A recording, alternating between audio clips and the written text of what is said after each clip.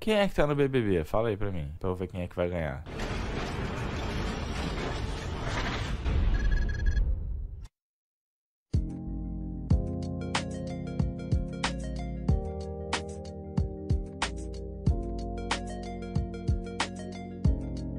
Vamos lá. Vamos ver. Laís, médica. A goiana é apaixonada por animais. E olha só, tem um crush com um ex-BBB. Recentemente ela levou um bezerro que precisava de cuidados para morar nos fundos de sua casa, até que ele ficasse 100%.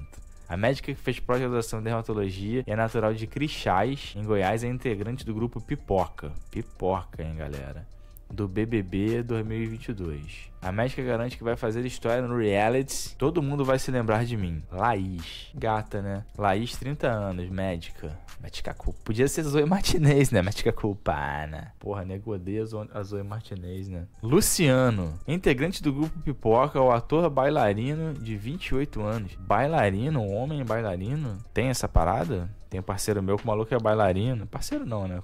Conhecido meu, parceiro da minha prima. O maluco fez uma entrevista até com o Sérgio Maroni, já apareceu na Globo. Né? Já mostrei pra vocês ele aí. O maluco é pica. O maluco foi lá pra África do Sul e ele é tipo assim, o, o cara do espetáculo, eu não sei como é que, como é que se diz, né? Imagina, imagina os preconceitos que o cara não sofreu né? na, na vida. Porra, bailarino, da onde eu vim, não veio, teve nenhum bailarino, cara. E esse maluco a gente chamava ele de fenômeno. É Juan o nome dele, já falei pra você, já mostrei ele aí. Pô, o maluco é pica, cara. E a gente chamava ele de fenômeno. A primeira vez que eu vi o fenômeno foi no no aniversário de 15 anos da minha, da minha prima. Que o maluco ele era pique em tudo, cara. O maluco fez a direção de arte da parada, fez a dança, fez a. É, organizou as paradas. Pô, o maluco é foda. Vamos lá. Filho de mãe solo, caçula de três irmãos. O ator e dançarina de ser bem próximo da família. Só não tem muito contato com uma outra irmã, criada pela madrinha. Bailarino clássico e trabalha no canal infantil. O ator e influenciador de Florianópolis foi casado por oito anos com uma mulher com quem mantinha um relacionamento aberto. Casamento aberto? Doideira. Deus permite? A igreja, a, a igreja católica apostólica romana de Nando Moura e Paulo Cogos permite essa porra? Não permite não. Doideira, né? Então vamos lá. Jess Lane. Natural de Bom Jesus da Lapa, na Bahia, Jess Lane tem 26 anos e é professora de biologia. Jess, como é conhecida pelos amigos familiares, diz que sua vida sempre foi feita de perrengues. Tem 25 tatuagens e todas têm um significado. O mais recente é o Pokémon Charmander. Todo mundo fica me zoando, mas identifico com ele. Sorrisinho no rosto e fogo no rabo. Essa frase foi, essa frase foi boa mesmo. Mas eu não sei quem é, quem é esse Pokémon. O único Pokémon que eu sei quem é é o Pikachu e aquele que faz Squirtle, Squirtle, Squirtle, Squirtle, Squirtle. Vamos lá. Eliezer. Pô, Eliezer já não participou dessa merda, Eliezer? É o mesmo Eliezer? É outro? Não tem como ser outro. Não tem duas pessoas chamadas Eliezer no mundo. É igual Romário, é um nome único. Acho que é o mesmo, aquela porra que eles voltam uns caras antigos para poder. Né, essa porra é maneira de voltar os caras antigos, os caras clássicos do BBB. É foda, tu tá, tu tá assistindo o BBB e de repente aparece um Jean Massumi. Cegão estrategista, tá ligado? Ou uma Cida, né? É maneira essa porra. O alemão, né? Tinha aquele outro também, Alan, Alan do Big Brother, aquele negãozão trincadão, estilo Shake Congo. É maneira, é maneira. Essa porra é maneira de voltar aos clássicos. Outra coisa também, já contei a história que, que a minha ex-sogra, lá na casa da minha ex-namorada, eles eram tudo fã de Big Brother, né? Caraca, a minha ex-sogra, ela almoçava junto com os brothers, ela curtia a festa dos brothers, jantava junto com os brothers, fazia prova de resistência junto com os brothers.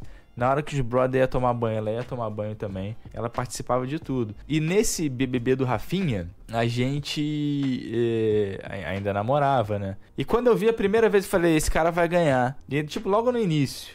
Logo no início. Ó, eu, eu acertei o primeiro também. Olha, vamos lá. Esse do Rafinha, eu. Quando eu vi a primeira vez, eu falei: esse cara vai ganhar. Aí a, a, ela falou assim: Ah, por que, que vai ganhar? Eu falei: Porque esse cara parece o Raul. No primeiro Big Brother de todos, aquele primeiro Big Brother, que foi o do, o do Bambam, tinha um cara que era um tal de Sérgio também, é, tinha uma mulher lá, já nem lembro quem são. No primeiro, eu falei assim: Pô, quem vai ganhar é esse cara aí? Por quê? Porque parece com o meu primo Gonzales, que é, pô, Gonzales é burro pra caralho, primo meu. Puta Puta que me pariu, ele é muito burro. E quando eu vi o maluco assim, fortão, pô, Gonzales, filho, a gente ia no carnaval, caralho, filha da puta pegava todo mundo. E ele não precisava falar nada, porque ele era fortinho assim, e ele era bonito, assim, parecia muito com o Bambam ele. Poxa, a mulher chegava nele, ele pegava geral no carnaval, filho. Aí eu falei assim, pô, esse maluco vai ganhar igualzinho Gonzales. No primeiro dia, quando apareceu. Porque eles não divulgavam antes, assim. Pô, ele ganhou, cara. Ganhou. Então já, já acertei várias que vão ganhar, né? Ah,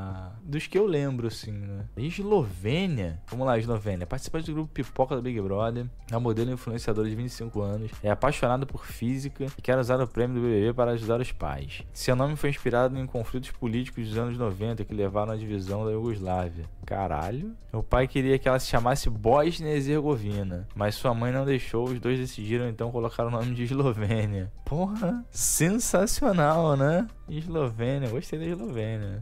Vamos lá, até agora que eu mais gostei foi a Eslovênia. E também gostei da Laís. E também gostei da Jessilane. Gostei só da mulher, então. Vamos lá, Lucas. Também não gostei de você, Lucas. Sinto muito. Engenheiro e estudante de medicina, ou seja, indeciso. Não sabe o que é da vida. Esse engenheiro estudante de medicina de 31 anos viralizou uma rede social depois de fazer um vídeo dando uma piscadinha sensual que acumula quase 68 mil seguidores. Beleza, né? Engenheiro estudante de medicina. Estudante é tudo vagabundo, né? Caralho. Vamos lá. Eu sou câncer com acidente em aquário e lua em capricórnio. Puta que me pariu. Alguém fala para ela que o, que o signo dela só serve para saber qual cavaleiro do zodíaco que ela é. Qual cavaleiro de ouro que ela é. E no caso ela seria o Camus, né? A Camas. Num próximo cavaleiro novo, que o Camus ia ser mulher, o cavaleiro de aquário ia ser mulher, ela ia ser a Camas. É, aquela briga entre a razão e a emoção. Define a modelo estudante de neurociência e comportamento. Bárbara já fez jejum de 21 dias e ensaiava para uma entrevista para o reality show quando era criança. Com 29 anos, a gaúcha é muito ligada em signos, daquela que as amigas mandam mensagens pedindo para analisar o mapa astral dos contatinhos. Cara, tô, tô torcendo pra ela. Arthur Aguiar. Ator e cantor carioca de 32 anos, Arthur promete encarar o reality show como um recomeço de vida, mesmo depois de retomar seu casamento com a influenciadora e ex-BBB Maíra Card. Porra, essa Maíra Card não ganhou essa merda? Ganhou não? Ah, vai pra porra. Sai fora daqui, fode. Rodrigo. Participante do grupo Pipoca, o gerente comercial é festeiro. Está solteiro e conta conquistou tudo na vida por conta da sua garra e determinação. Esse paulista de 36 anos é fanático por esportes e já morou na Austrália com os cangurus. Trabalhou como pedreiro lá. Hum, eu gostei do nome desse cara. Porra, essa porra vai ser uma putaria do caralho, esse, esse Big Brother. Natália. Quem senta ao seu lado para conversar, ouve um pouco de suas histórias, nem acredita que ela acaba de completar 22 aninhos. Natural de Sabará, em Minas Gerais, Natália está acostumada desde pequena a correr atrás do que deseja. E a vaga no grupo Pipoca do BBB é a, sua mais recente conquista. Fã de Michael Jackson, ela diz que o vitiligo é sua tatuagem. Cara, ela tem vitiligo, mano. Que doideira. Pô, tem uma amiga minha vou falar o nome dela, né? Que ela tem vitiligo, né? Só que a única marca que ela tem, visível, é que aqui o cabelo dela fica um pouquinho branco. Não sei nem se hoje em dia ainda é assim, aqui no cantinho assim. O cabelo dela fica um, pouco branco. Aí uma vez eu falei pra ela, falei, cara, essa porra feia pra caralho aí, cara, pinta essa merda branca. Aí ela falou assim, não, cara, tem vitiligo. Eu falei, caralho, pô, foi mal, sabe? Porra, não sabia, né, cara? Você, me, você, nunca tinha me falado. Aí uma vez ela, ela tava trabalhando com a mãe dela no quartel, a mãe dela tinha uma cantina no quartel. E os militares iam pra lá, lá em cima dela, né? Via a novinha lá na porra da cantina, o maluco ia pra lá. E teve um capitão, ela falou assim, cara, eu não sei como é que esse cara, ele... Ele consegue... Ele conseguiu passar no exame psicotécnico da parada. O maluco ficava o dia inteiro dando em cima dela e o maluco dava calote na mãe dela. O maluco pegava as paradas fiado lá pra pagar no final do mês e não pagava, filho da puta. Só que, tipo assim, ele fazia tudo tudo é, dela era, era perfeito, incrível, assim, o cara ficava elogiando ela o tempo inteiro. Aí uma vez ela tava conversando com ele no balcão, que ela me contou, aí ele falou assim, nossa, é, que lindo esse, essa partezinha branca aqui do teu cabelo. Aí ela falou assim, pô, cara, isso é vitiligo. Aí eu falei assim, então, achei lindo o seu vitiligo. O caralho, que filho da puta, cara.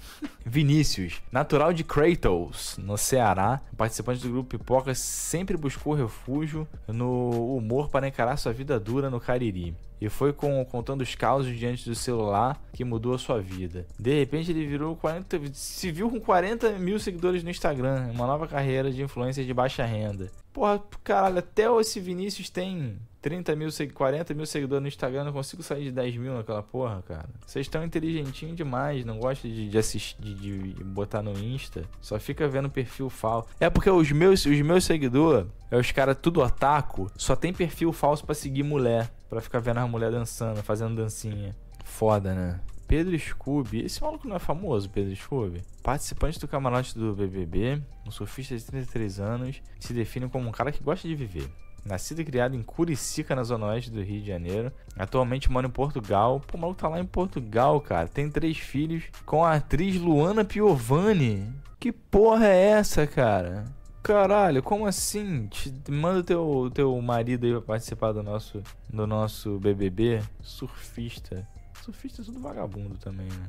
Bruna Gonçalves. Bruna Gonçalves é muito mais que a esposa de Ludmilla. Caralho, que porra é essa, cara? Esposa da Luana Piovani, esposa da Ludmilla. Não tô entendendo esse BBB. Aos 30 anos é bailarina, influenciadora digital e tem milhões de seguidores nas redes sociais. Cara, eu acho isso aqui complicado você chamar esses influenciadorzinhos aí para participar, porque o cara já tem milhões de seguidores, porra. Milhões de pessoas vão votar nele, eu acho. Aí tu vai ver qual é a influência dela. Entra lá e tá fazendo dublagem da usurpadora. Pô, influencia pra caralho, hein? É muita influência. Paulo André Camilo. Quem acompanha as provas de atletismo do atleta olímpico não imagina que por trás de tanta imponência e contestação no esporte se esconde um jovem de apenas 23 anos com uma certa timidez na fala, acostumado a viver sob pressão. O participante do grupo Camarote do BBB vê no reality uma chance de se desafiar ainda mais. Paulo André Camilo, 23 anos. Hum, Paulo André Camilo. Ele é, ele é atleta do quê? Atleta de Cristo? Ele não tem cara de atleta? Maria. Eu sou livre, essa é palavra que me define melhor. Maria, ninguém é livre, Maria. Somos quase livres. E isso é pior do que a prisão. Maria, de 21 anos, participante do grupo Camarote, nasceu em Vitória. Nasceu Vitória do Nascimento, Câmara. Na cidade de Alta deve. Pô, por que que. Entendi. Se o nome dela é Vitória do Nascimento Câmara, por que, que ela é a Maria? 21 anos, atriz e cantora, já de Picão, com mais de 20 milhões de seguidores nas redes sociais. Ah, isso foi uma das coisas que eu, que eu fiquei mais surpreendido. Ela tinha 20 milhões de seguidores nas redes sociais, eu nunca tinha ouvido falar dela. E quando eu fui ver o perfil dela, ela é influenciadora de dublagem também, da usurpadora. É porque, tipo assim, eles pegam assim, ó, já de Picão influenciadora de 20 milhões de pessoas. Só que as pessoas nunca ouviram ela falar nada na vida e nem influenciar ninguém de verdade. Então os caras botam ela lá pra quando ela abrir a boca a primeira vez, filho. Acabou a carreira de Jade Picon. Olha aí o Acerola aí, maluco. O Acerola vai ganhar, cara. Não tem como não ganhar, cara. Tô torcendo por Acerola. Pela primeira vez na porra do Big na história do Big Brother, eu vou torcer por alguém. Primeiro ator brasileiro indicado ao Emmy pelo personagem Acerola na série Cidade dos Homens. É engraçado que lá na pelada a galera não chamava ele de Acerola, só eu chamava ele de Acerola, todo mundo chamava ele de Douglas. É porque os caras ficam assim, não, eu sou, um, sou um amigo dele, é Douglas, pô. Acerola é só um personagem. É a mesma merda, os dois. É a mesma coisa, não tem diferença nenhuma. Eu só chamava ele de Acerola. Essa era foda. Futebol estilo JJ Okocha. Sempre tinha uma, uma, uma, uma tentativa de caneta para dar. Responsabilidade é que é, ele tem uma filhinha, né? Casada há 13 anos com Carolina Douglas, é pai de Maria Flor, de 10 anos. E de Morena, de 1 ano. Participante do grupo Camarote, o ator fez 33 anos e garante que é gente boa, fiel, muito competitivo. Não, maneiro, tô torcendo pra ele. Teve uma vez, tipo assim, tinha muito tempo que eu não via o, o, o Acerola na, na televisão, né? Aí teve uma vez que eu tava saindo da pelada, o pessoal ficou lá conversando, ele, ele veio embora um pouco antes, eu fui lá, peguei o carro e ele tava a pé. Aí eu passei assim e falei, pô, vai pra onde? Ele, não, não, não, eu vou a pé, tá tranquilo. Aí eu falei assim, pô, beleza. Aí fui embora. Falei assim, caralho, será que o Acerola tá fudido, cara? Porque o maluco, não, não vejo maluco na televisão há um tempão. Cidade dos Homens acabou. Falei, pô, o maluco deve tá fudido. Né? Tá morando aqui perto de mim, tá, tá fudido. Na época, ele fazia o esquenta, só que eu não sabia. Que eu não via o esquenta, né, da, da Regina Casé. Eu fiquei com essa porra na cabeça, né? Aí na outra segunda-feira, eu falei assim, caralho, será que o Acerola vai de. Fiquei, fiquei de butuca ligado. Falei, será que o Acerola vai andando de novo? Caralho, a filha da puta foi com o Renegade novinho. Tinha acabado de sair. Foi a primeira vez que eu vi um Renegade, né? Aquele Renegade. Jeep, né? Foi a primeira vez que eu vi uma porra daquela. Falei assim, caralho, filho da puta tá fudido mesmo. Tá fudido mesmo, Acerola. Eu que tô fudido de Clio aqui. Até hoje eu tenho o mesmo Clio. Mas ele é muito. Ele é muito gente boa. O maluco é muito gente boa, cara. Muito gente boa. Ele me chamava de Jack Chan. Acho que ele nem sabe meu nome, só me chamava de Jack Chan. Eu não sei porque todo mundo me chamava de Baltar lá, né? Não sei. E eu realmente fazia diferença na pelada, né? Ele, mal... ele malhava na academia aqui perto, entendeu? Ele mora por aqui. Morar, não sei se ainda mora. Mas morava aqui na outra rua aqui. Doideira, né? Tiago Abravanel. Cara, Tiago Abravanel, outra coisa que eu tenho uma história para contar também. Nascido em uma família bem sucedida, o brother nunca passou necessidade e reconhece que leva uma vida com muitos privilégios. Mas ressalta que o prêmio não é foda-se. Ninguém liga pra você, Tiago Abravanel. Deixa eu contar essa história. Tinha uma colega minha, muito tempo atrás, que ela trabalhava na Acho que era na, na, Globo, sei lá, uma porra dessa assim. E eu conheci ela através de um outro colega, assim, a gente conversava direto e tal. Aí, uma vez ela botou uma porra na internet, na festa da empresa, é, esse Thiago Abravanel foi convidado, não sei para quê. Aí ela subiu na no palco, aí deu um beijo no, ele deu um beijo na boca dela, né? Mas foi um beijo, um beijinho assim. Aí eu falei assim, porra, quem é aquele cara? Aí eu perguntei pra ela, né? Ela falou assim: não, é o Thiago Bravanel. Eu, cara, Thiago Bravanel, que é filho do Silvio Santos? Eu não filho de número qual do Silvio Santos? Pra mim, o Silvio Santos só tinha filha. Aí ela, não, pô, dei um beijinho nele só, só de brincadeira. Eu falei, pô, então por que tu não me beija de brincadeira, caralho? Beijar aquele gordo feio pra caralho, nunca vi mais gordo. Pica, né? Eu passei a odiar o Thiago Bravanel depois dessa porra. Nayara Azevedo. Participante do grupo Camarote do Big Brother, cantora compositora sertaneja, é, conta que é fiel, explosiva. Essa mulher naquela que, que canta o é infiel, eu quero ver você morar no motel. Não é ela? É ela, né? O que, que ela tá fazendo no Big Brother? Agora, só para encerrar o Big Brother, Big Brother é um programa idiota para idiota. Se você gosta de idiota, você é um idiota e não tem argumentos que você me dê contra isso. Mas mesmo assim eu vou torcer pro Douglas.